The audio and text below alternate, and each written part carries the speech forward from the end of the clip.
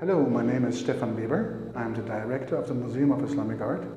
It's in the Pergamon Museum and part of the State Museums of Berlin.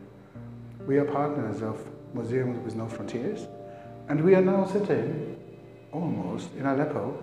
This is a house, let's say it's a part of a house, it's a room, the so-called Aleppo room, which is done or made in 1601 by a certain Isa ibn Butrus.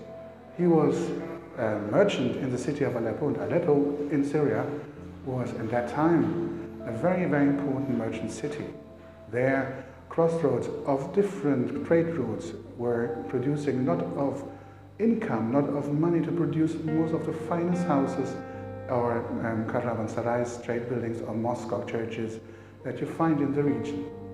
So this was a reception room where the owner received his clients in the morning and his friends in the evening. And this is part of a house where you have an inner courtyard, you go in, and then the reception hall, you have actually go through the courtyard and enter then from the really uh, shining sun into the coolness of this room inside. And you, what a spectacular um, actually experience because you had water inside, you had water in the courtyard, the windows were open, you will hear the birds from the courtyard inside, you would have the smell of jasmine and orange, the light is glimmering through the holes on, in, the, in the cupola, and then you have all this painting, which is really kind of cosmography of the uh, world of at that time. You find everything.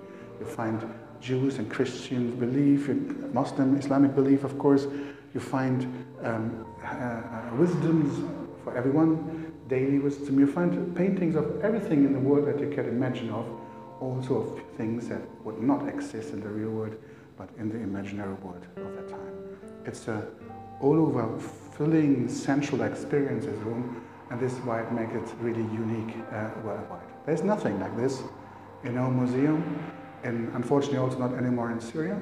This is the oldest um, interior that we know of in, in Aleppo, but also in the Ottoman world of this standard, this quality, and that beauty.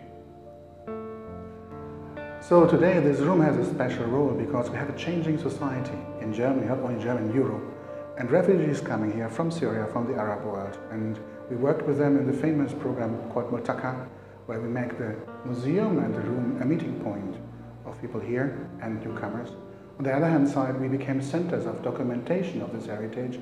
We're now working with almost 15 Syrians to document the heritage of the country and communicate it inside Germany, but also, of course, to the international community.